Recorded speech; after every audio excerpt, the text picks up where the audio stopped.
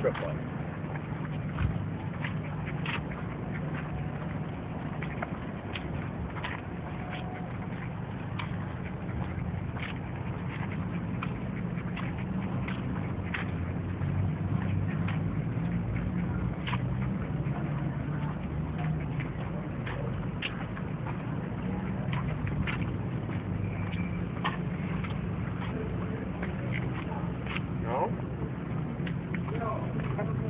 Goodbye, goodbye.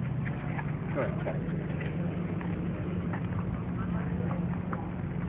How many jobs are